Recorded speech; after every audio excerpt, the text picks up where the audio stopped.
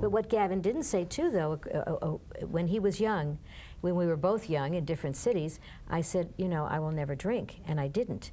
Gavin said, I will never drink, and he did. And I he did. became an alcoholic Did you really? Yes. It I, got I stopped drinking in 1971. before I married and cigarettes him. too, but you know, at that time, and it was very easy. God made it, It so was. easy for me. I, I It made him. It made it so easy. But that's the pattern too, when, when you have that in the family. Oh, yeah, It's I easy to fall into that, and I'm aware of that, and so I'm, you know, Yeah. reluctant to get into the beer I've because I, I, I know where, where it can go. Yeah, I'm around people that drink a lot, you know, in our business. And uh, that's their choice, and uh, I see how their personalities change and so forth. So therefore, the grace of God go, why?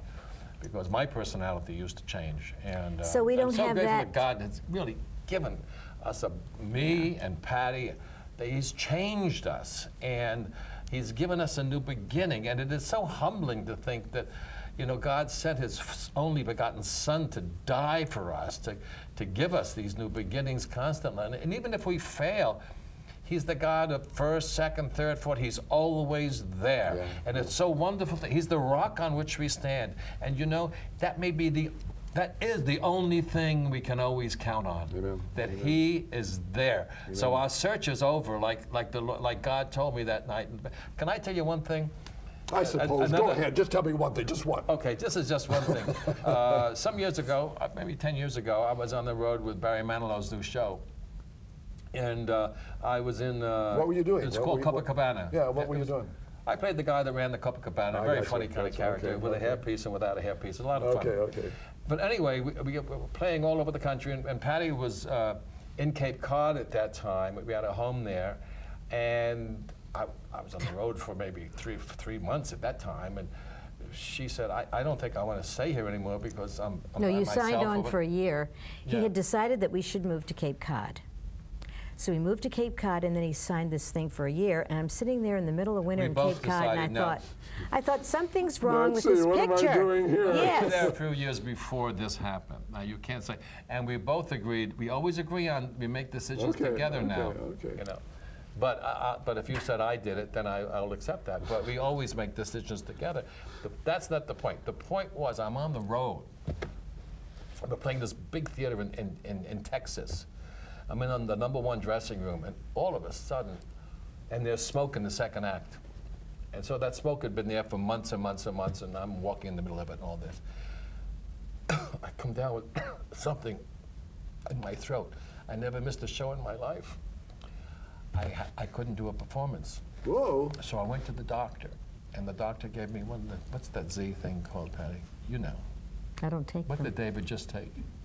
My son did. Antibiotics. An antibiotic. We're not used to that because we don't really take those things. Anyway, so I'm on the floor praying to God. She's in California. The house is in Cape Cod.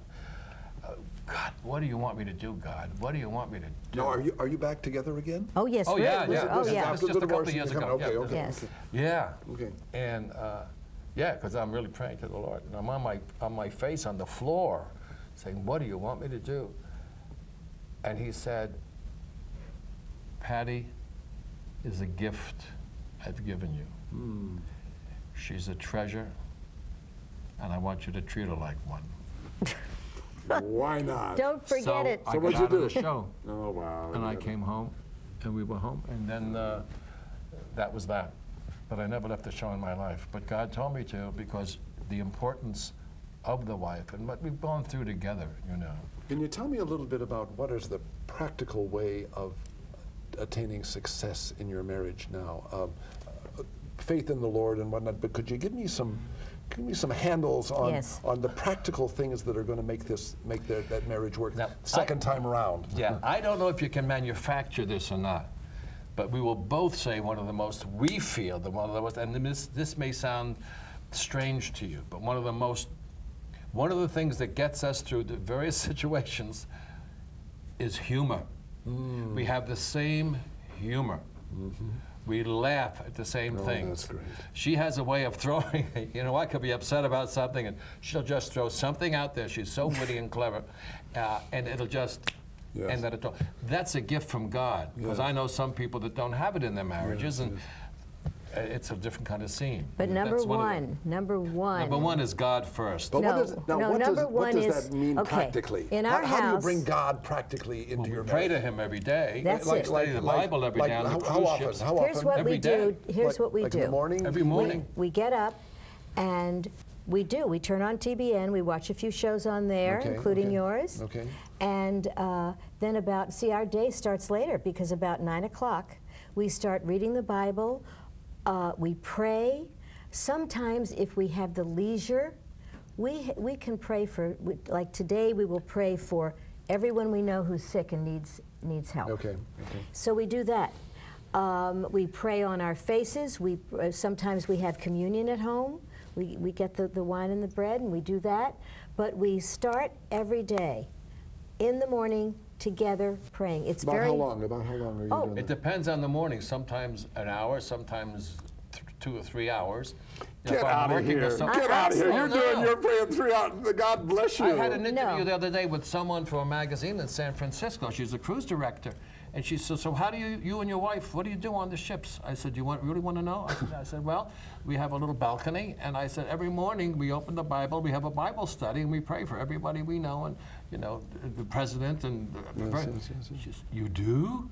I said, yeah, that's what we do. I mean, we're making us uh, sound saintly. Maybe it's not not always two hours, but we do. We watch some of our favorite favorite programs to yeah, get us started. Then we read some of the magazines that we have from the various out loud to each other, our, you know, Christian take turns. magazines. We are now uh, reading out loud um, uh, in the mornings uh, C.S. Lewis's Mere Christianity. Oh, hello. Yes. And um, w- I tell you, I love to pray. And see, when, whenever I hear uh, priests, ministers say, God has a plan for your life, I mean, I'm older now.